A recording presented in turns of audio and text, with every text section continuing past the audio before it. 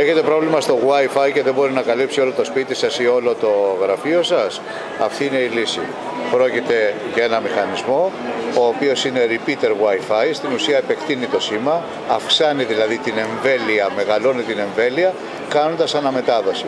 Έτσι λοιπόν ακόμη και στα μέρη που δεν μπορούσατε να έχετε Wi-Fi σήμερα ή που χρειαζόταν να τοποθετήσετε ένα δεύτερο hub, τώρα μπορείτε να κάνετε τη δουλειά σας ε, χρησιμοποιώντας αυτό τον απλό repeater, ο οποίος εκτιμάται ότι θα κοστίσει γύρω στα 60 ευρώ και θα είναι διαθέσιμος στην ελληνική αγορά από τα τέλη Μαρτίου.